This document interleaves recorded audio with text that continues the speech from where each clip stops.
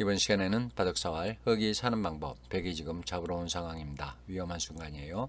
사는 수 정확히 사는 수 어떤 수가 있을까요?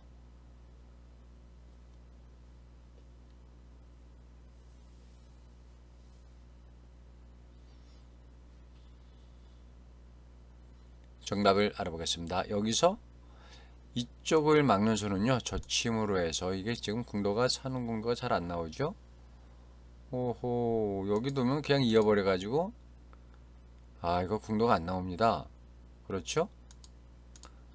아 죽었어요 궁도가.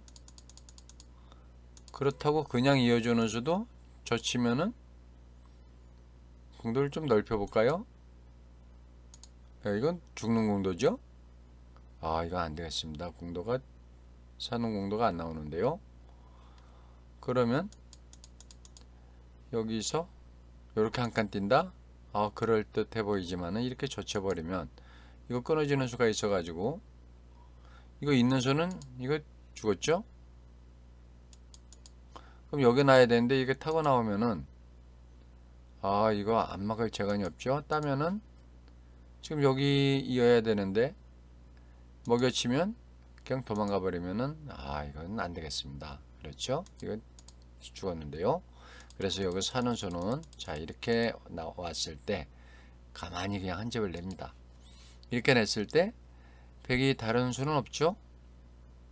뭐 마늘무 집으면 집이 나니까 그러면 여기서 이렇게 나오는 수가 있을 텐데 여기서는 어떻게 해요? 이거 안 막을 재간이 없죠?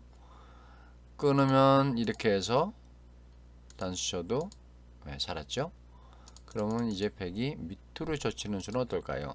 예, 그러면 이렇게 막아서 요 놈까지 잡아버립니다. 어, 이을 수도 없고요. 그 패도 안 되고, 패도 안 되죠?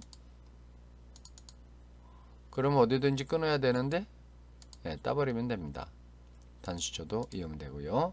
그래서, 자, 이렇게 잡으러 왔을 때, 이렇게 한 집 내는 수가, 어, 사는 수가 되겠습니다. 이렇게 나와도, 예, 저 집은 요거까지 잡아버리면 되겠습니다. 이런 식으로 살면 되겠습니다.